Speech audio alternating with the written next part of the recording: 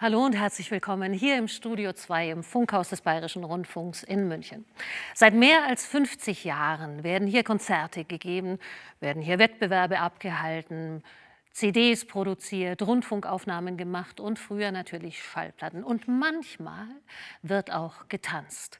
Und ich bin mir ganz sicher, dass heute, am 27. Januar 2021, im zweiten Jahr der Pandemie, hier auch getanzt würde, wenn wir denn Publikum dabei haben dürften. Ist aber nicht der Fall, macht aber nichts. Wir kommen ganz nah dran an die Band, die die elektrisierende Musik spielt, die einem Publikum keine andere Wahl lässt, als zu tanzen.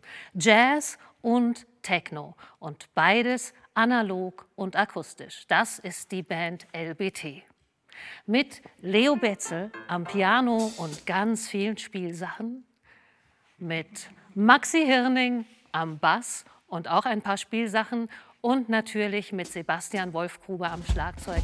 Der hat auch eine ganze Batterie mit dabei. Die drei haben sich 2015 zusammengetan, da waren sie noch Studierende an der Hochschule für Musik und Darstellende Kunst in München. Und sie haben sich ganz schnell auf Erfolgskurs begeben.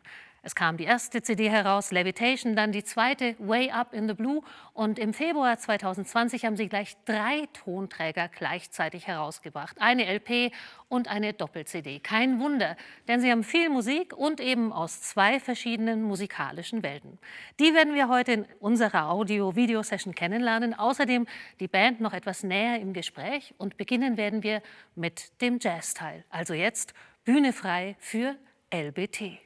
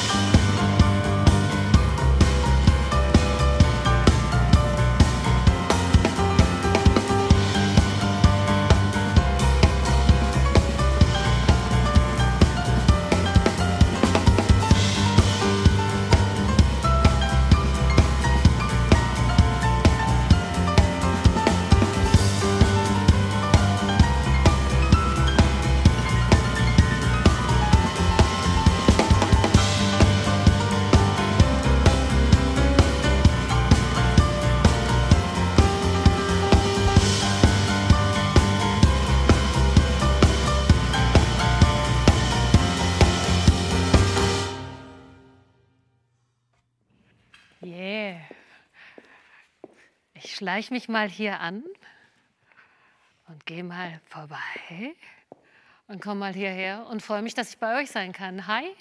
Ich hatte vorhin eingangs die Vokabel elektrisierend für eure Musik verwendet und ihr habt es jetzt schon komplett eingelöst. Wow. Äh, es waren ja jetzt eigentlich vier Stücke, die ihr aneinander gespielt habt in einem großen Bogen. Das waren zwei Kompositionen von dir, Leo, das war eine Komposition von dir, Sebastian. Und jetzt zuletzt bei dieser Climax dann noch ein Standard eigentlich, Slow Hot Wind von Henry Mancini, 60er Jahre. Sarah Vaughan hat es gesungen, aber das klang damals ganz anders. Das habt ihr euch quasi vorgeknöpft jetzt mal und in eure Klangsprache übertragen. Aber sonst seid ihr eine Band, die in erster Linie ja ganz eigene Stücke, eigenes Repertoire spielt, richtig? So, ja. Ja, kann man schon so sagen. Aber also diesen Standard haben wir gewählt, beziehungsweise der ist tatsächlich vom Maxi sogar arrangiert worden. Und äh, das ist eigentlich immer ein gutes Stück an der Position des letzten Stücks im ersten Set, wenn wir in ein zweites Set mit Techno eben gehen, weil das schon irgendwie so beide Welten verbindet ein bisschen.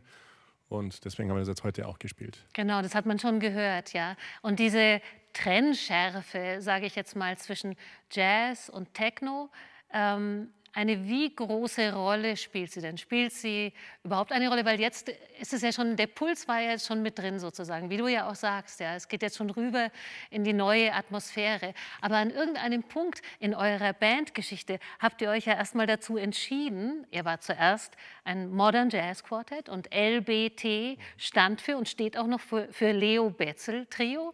Für mich, wenn ich euch so höre, ist es ja Life and Better Times, ja so. Aber dann habt ihr euch irgendwann mal entschieden, da gibt es auch noch einen zweiten, einen zusätzlichen Weg, einen Weg, der sich irgendwie verbindet. Wie kam das zustande? Wer mag?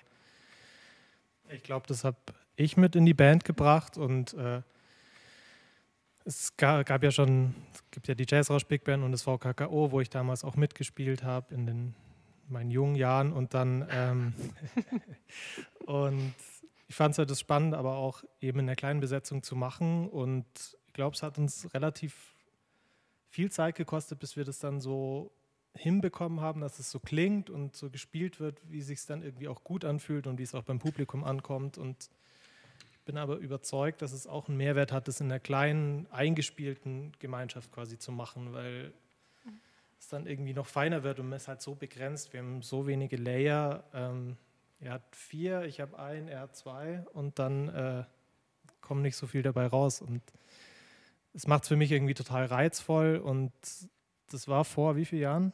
Drei, vier Jahren? Ich glaube 2018 rum ja, genau. das los. Ja. Haben wir das damit angefangen und dann natürlich auch irgendwie gleich einen Preis gewonnen und das hat dem Ganzen dann auch irgendwie recht gegeben und seitdem nicht ähm, nur einen, mehrere. Nicht nur einen, ja, genau. genau.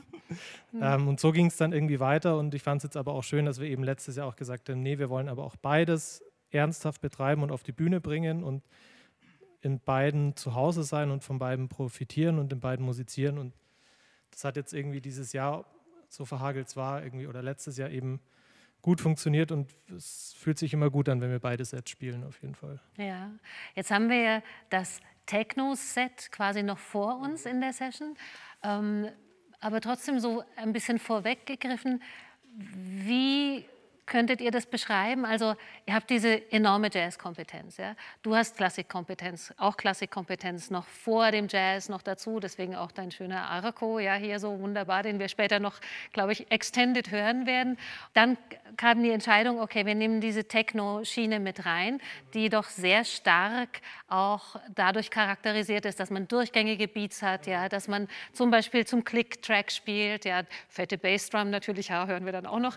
Und, und wo wo man oder wo ich in der Vorstellung eigentlich habe, okay, das ist so eine Musik, wo man so sehr ah, straight durch, wenig Raum für Improvisation, also für das, was Jazz ausmacht. Aber welche Erfahrungen habt ihr jetzt auch in eurer Entwicklung vor allen Dingen damit, dass ihr ja quasi aus beiden Welten kommt und wie befruchtet sich das gegenseitig dann jetzt im Doing sozusagen? Also, also für mich vor allem, aber ich glaube, das gilt für die anderen beiden auch so, war die erste große Umstellung, erstmal weniger zu spielen vielleicht sogar noch ja.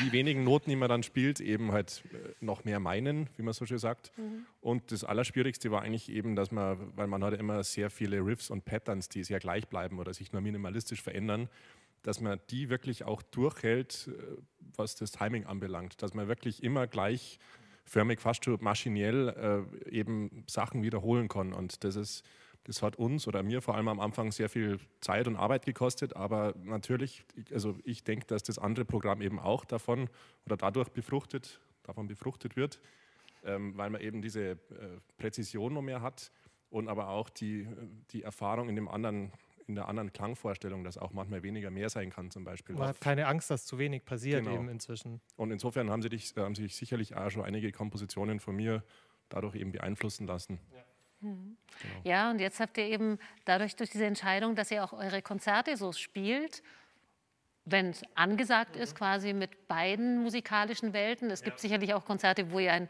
reines, in Anführungszeichen, Techno-Programm spielt. Und jetzt seid ihr an dem Punkt, dass ihr 2020 im Februar ganz toll eine LP rausgebracht habt, My Songs, ja, und zeitgleich diese Doppel-CD Stereo. Und dann Pandemie, ja, so. Und äh, eigentlich Wir sind sehr froh, dass wir noch ein ganz sehr schönes äh, Konzert hatten, ein Release-Konzert im ausverkauften Ampere. Das war wirklich toll und danach ging es dann bergab. Ja, genau. Und äh, seitdem seid ihr quasi on hold, was man euch im Zusammenspiel überhaupt nicht anmerkt, ja, weil das ist sofort wieder da und ganz abrufbar. Ähm, ich würde sagen, bevor wir jetzt äh, in die nächste, ins nächste Set hineingehen, und das sind dann Kompositionen von dir, Maxi, ähm, das erste Stück davon, Takete, äh, habe ich gelernt von dir, Maxi, Lateiner. Ich habe auch in der 11. Klasse abgelegt, aber leider, ich hätte jetzt Tazete gesagt, aber Takete ist richtig und heißt ja so viel wie schweigt. Das ist quasi die Anweisung an wen auch immer. Und ähm, da habe ich eben auch gesehen auf eurer Website, dass ein ganz tolles Video mit einer jungen Tänzerin, die also so dann auch mit so einer Tanzcompany bestehend aus vielleicht neun- und zehnjährigen Jungs, die so hinter ihr ihre Pliés machen zu dieser Musik und dann auch noch mal zwei Tänzer mit dazu und die ganz ausdrucksstark in einer wunderbaren Choreografie eure Musik tanzt. Und dieser Tanz ist eben ja ein unwahrscheinlich wichtiger Bestandteil, glaube ich, in dieser Musik. Und mit ihm dann auch all die neuen Räume, die ihr euch bei euren Auftritten erschließt. Aber darüber reden wir später, okay? Weil jetzt will ich euch hören. Und ich glaube, alle anderen, die zuschauen und zuhören, auch. Also, LBT mit dem zweiten Set, mit ihrem Techno-Set. Vier Stücke in einer schönen Dramaturgie. Und euch viel Vergnügen damit und Ihnen auch. Und wer zu Hause tanzen kann, soll es machen, weil da muss man sich ja überhaupt nicht genieren, oder? Also, LBT, here you go, im Studio 2 bei unserer Audio-Video-Session.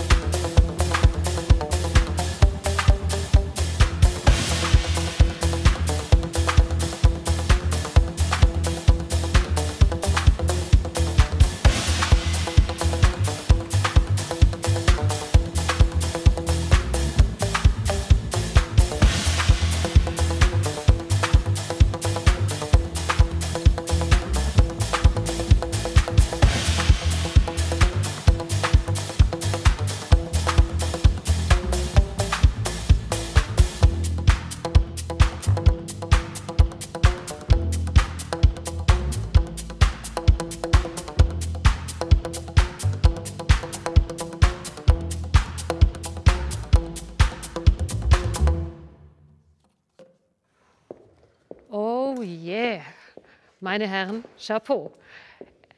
Das ist die Band LBT mit Leo Betzel am Klavier und an einigen sehr interessanten anderen Gerätschaften und Instrumenten, mit Maxi Hirning am Bass und am Hi-Hat und am Bogen, yeah, und mit Sebastian Wolfgruber am Schlagzeug, ausgestattet mit allem, was das Herz braucht, um diese Klänge zu erzeugen, die ihr hier erzeugt bei Techno, wie ich ihn mir immer gewünscht hätte, Anfang der 90er Jahre, als das es noch nicht gab, als es noch keinen Akustik-Techno gab, jedenfalls kannte ich ihn nicht und ich mich bei Techno-Partys immer sehr gelangweilt habe, was seitdem ich euch kenne, komplett sich umgedreht hat. Und ich glaube, es liegt genau an diesem Konzept, weil ihr eine Band seid, zu der übrigens auch noch ein vierter Mann gehört, nämlich euer Soundmann. Und das ist Mats Leichtle. Und er ist, hi Mats, er ist zuständig für das, die lautstärken Stimmen untereinander, dass das Equalizing stimmt, also die richtigen Frequenzen quasi in den Tönen hervorgehoben werden und manchmal auch ein schöner Hall an einer Stelle, wo man sagen würde, hui, wow, plötzlich großer Raum und so weiter, weil das natürlich alles zu eurer Musik gehört. Jetzt Frage, Soundvorstellung war zuerst da bei dir, Maxi, der du ja der Initiator quasi bist der Techno-Welle bei euch in der Band.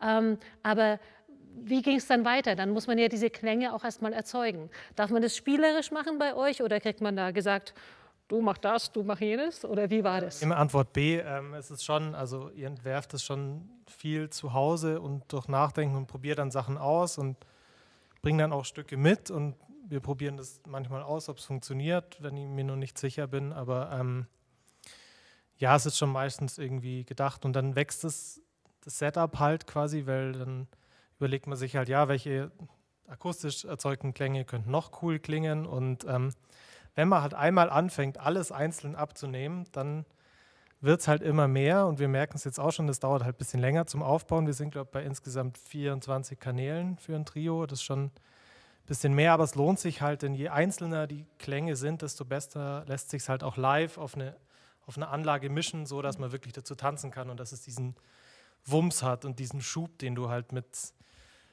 jetzt in einem Raumklang irgendwie nicht herbekommst, so, weil das halt eben das Ding ist, was irgendwie elektronische Musik so ausmacht. Hier in eurem Set hat man das gut gehört, quasi so, wenn es wieder anschiebt. Also quasi der Moment, wo, wenn die Bude voll ist, quasi alle die Hände in die Luft reisen und wow, ja, und dann geht es genau. wieder weiter. Und vorher äh, bahnt sich das so an, ja, dieser mhm. Anlauf.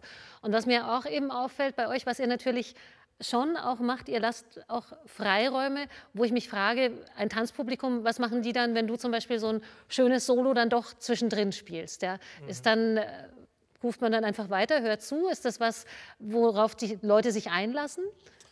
Ähm, es kommt, glaube ich, auch wirklich auf den oder die ZuhörerInnen an, ähm, ja. was die in dem Moment, also aus welcher Musik die betreffende Person jetzt kommt, wenn jetzt nur aus dem Techno kommt, dann merkt ihr halt, ah, die Kickdrum hört auf und wird dann irgendwann wieder einsetzen und freut sich darauf. Wenn jetzt jemand aus dem Jazz kommt, merkt er, ah, da isoliert jemand wahrscheinlich, vielleicht.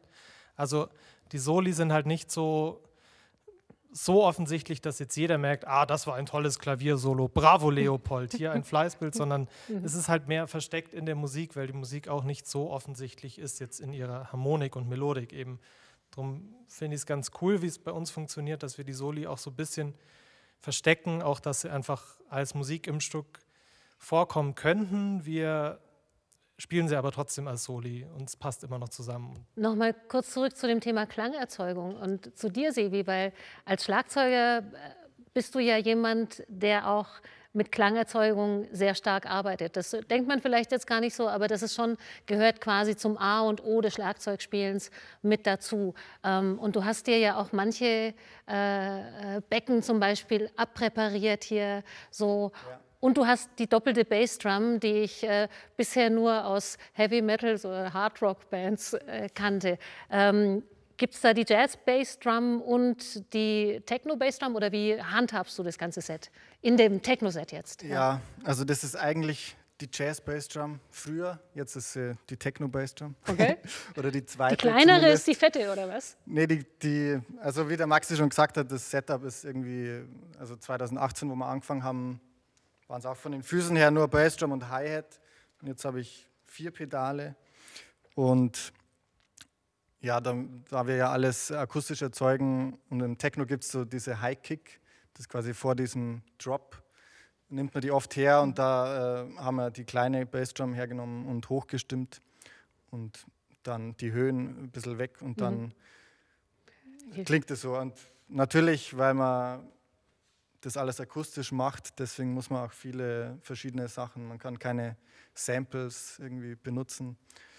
Deswegen wächst es stetig. Ja, ja, aber das ist ja eigentlich der Spaß dran. Das ist ja mhm. quasi auch ja. wie, eine, wie ein eine erweiterte Percussion zusätzlich zum ja. Schlagzeugset und so weiter. Sag mir noch mal, was ist ein Drop bei Techno? ein Drop ist das, was du vorher beschrieben ah, okay, hast, wenn gut. dann alle wieder dann, lostanzen. Oh. Also da, wo es knallt. Okay, das alles klar, ja. wo man so sagt, ja, ja, ja, also genau. wo die Kickdrum halt wieder reinkommt und der Bass und okay. vorher wird alles höher und dann... Genau. Und äh, jetzt ist es ja doch so, dass Techno eigentlich wie so eine populäre Fortsetzung oder ein neuer Zweig ist, der doch auch sehr stark aus der Minimal Music mhm. sich einfach auch immer gespeist hat. Ja, so, ähm, wie war denn das bei dir? Bist du als Initiator der mhm. Technowelle in eurer Band äh, äh, durch die Minimal Music draufgekommen oder weil du einfach auch Techno-Fan bist und auf diese Partys gehst und so weiter? Also ich gehe sehr gerne diese tanzen. Partys. Diese Partys, das ist ja heute so, also Techno ist ja heute so kommerziell und mhm. erfolgreich, mhm. dass es wirklich jeder kennt und jeder schon mal irgendwie, es ist nicht wie Anfang der 90er, wo so ein paar, mhm. das irgendwie so ein Geheimtipp war, sondern es ist halt jetzt irgendwie da angekommen und jeder kennt es irgendwie und entwickelt sich auch immer noch. Ist klar, wenn das erfolgreich wird, gibt es viel gute Musik und viel schlechte Musik, das bei jeder Musikart, die so rauskommt quasi mhm. und das, ich, also es wird auch noch ein paar Jahre gehen, dass Leute viel dazu tanzen, glaube ich, hoffe ich, nach der Pandemie, wenn es noch Clubs gibt. ähm, genau, aber ich habe, glaube mit beidem, muss ich sagen, relativ spät angefangen, also mit Minimal Music und mit Techno, aber fand beides total spannend und komme ja ur ursprünglich so aus der Rockmusik und das sind ja auch wieder Minimal und Rock und Techno man nimmt halt, was es cool klingt und wiederholt es, mhm. wer es einem gefällt. Das ist so eine ganz einfache Regel, aber solange das Spaß macht, funktioniert die Musik für mich irgendwie. Du hattest das vorhin äh, vor dem Set kurz erwähnt.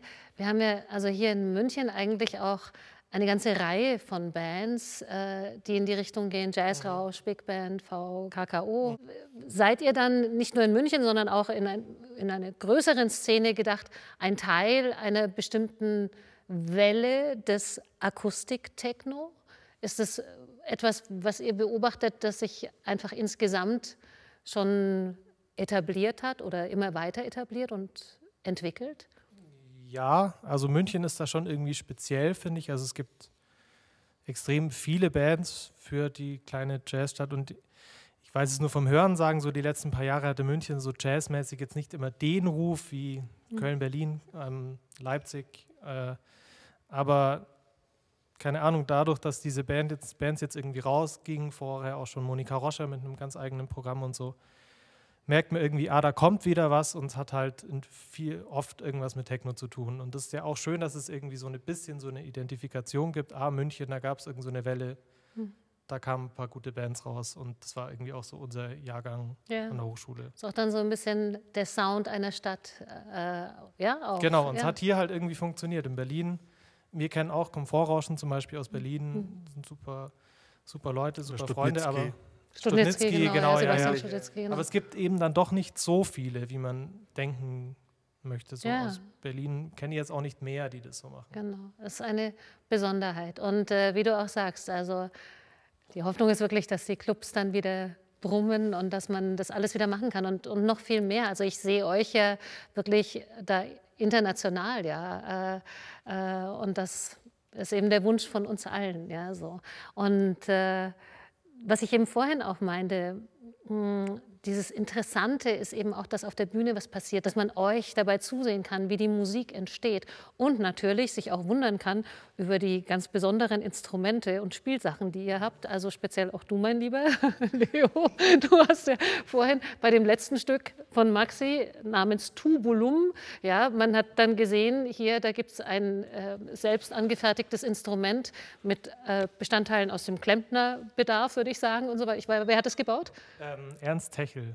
Ah, der, Bassist, der, der Bassbauer. Genau, super. Hat sich mal auf ein neues äh, Gebiet begeben und dann noch dazu die Badelatschen und plötzlich bist du eben auch Perkussionist, was du ja als Pianist eben auch bist. Ja, sozusagen, du bist ja auch ein Rhythmusinstrument und die Links-Rechts-Souveränität ähm, kommt natürlich hier auch unheimlich gut an. Stresst dich das zu irgendeinem Moment, dass du diese Dinge, diese also, Dinge spielen musst? Ja, es ist halt, wenn wir zu einem Auftritt fahren, wenn wir denn mal zu einem fahren, äh, mhm. was jetzt leider sehr selten geworden ist, aber hoffentlich wieder mehr wird, ist natürlich ganz schwierig, äh, dass man halt wirklich sich konzentriert und wirklich alles mitnimmt, weil das Equipment ist jetzt schon riesig geworden. Also heute zum Beispiel habe ich auch nochmal fahren müssen zum Proberaum, weil man dieses Tubolo, obwohl es groß ist, aber wir haben es irgendwie übersehen, und zwar im Eck standen und dann bin ich nochmal schnell gefahren. Und du genau. hast das übersehen. Ja, also ist halt so bei Handwerkern, ja? Ja, ja, klar. Da muss man nochmal los. Genau, also zum Spielen jetzt an sich, ähm, ja, das ist immer natürlich wieder mal was Neues mhm. und ähm, teilweise ist es ja koordinatorisch war es herausfordernd, äh, dass man das irgendwie lernt, aber der Maxi schreibt dann immer schon irgendwie machbare Sachen, die man aber erstmal denkt, so, das, wie soll denn das gehen? Mhm. Und dann bricht man es halt irgendwie runter. Ich habe es mir dann nochmal selber aufgeschrieben und dann kann man halt wirklich äh, abklappern, quasi wirklich Hand für Hand, was jetzt wann wie kommt. Ähm, ja, und das ist halt trotzdem sehr anstrengend, ähm, weil es geht ja in die Arme. Deswegen bin ich immer froh, dass es nur ein Stück ist äh, mit diesem Instrument. Ihr habt jetzt auch für das letzte Stück, das ihr spielt, ja auch noch mal ein interessantes Instrument was ihr euch ausgedacht habt, was es vorher so nicht gab. Und ich glaube, das musst du auch wieder spielen, Leo, stimmt's? Ja, ich bin immer derjenige, der das spielen muss, weil ich meistens Hände frei habe. Klar, der Sebi hat die Funktion, dass er halt den Rhythmus durchgibt. Du halt die tiefen Töne, außer bei dem einen, bei dem einen Stück war dann eben das Becken und die Cowbell gespielt hat. Mhm. Aber insofern sind eigentlich die beiden Aufgaben schon relativ verteilt und an mir liegt es ja, halt dann. Ja quasi, ich spiele auf dem Reifen, ja, und er spielt auf einer Speiche. Auf einer Speiche, genau. genau. Aber die Farben muss dann oftmals auch ich halt ein bisschen reinbringen. Ja, und das ist es eben. Es ist eine Speiche und es ist ein Reifen und es gibt eine Geschichte dazu und ich glaube, wir enthüllen sie einfach, ja. Und die äh, kommt eigentlich von dir, diese Geschichte, denn du hast mal was gesehen auf YouTube, was dich da inspiriert hat. Genau. Bitte, was war das? Eine Hommage an den sehr jungen Frank Zappa, der, ähm, weiß nicht genau wann, aber als er kurz Anfang 60er Jahre. Genau, Anfang das, 60, da war er 20, 22 oder so und war in einer Talkshow und hat vor einem Publikum einfach auf zwei Fahrrädern improvisiert. Die haben ihn offensichtlich alle ausgelacht, aber er hat eben auf der anderen Seite zehn Minuten, dann später noch mit Big Band vor einem Millionenpublikum halt auf Fahrrädern improvisiert und so irgendwie neue Musik dahin gebracht, wo es wenig andere Leute geschafft haben, quasi nämlich in irgendwie in die große Aufmerksamkeit. Und das fand ich, diese Coolness zu haben, das einfach so durchzuziehen und das zu machen, fand ich sehr beeindruckend. Und da ich natürlich immer auch auf der Suche nach ähm, Sounds bin, war das mit, der, mit dem Fahrrad und vor allem der Speiche, dieser, also die, er streicht auch in dem Video an der, an der Speiche und es klingt so ekelhaft, wenn man Halt drauf tut, klingt es total cool und dann äh, so ist das Was? Stück entstanden. Genau. Ja. Genau.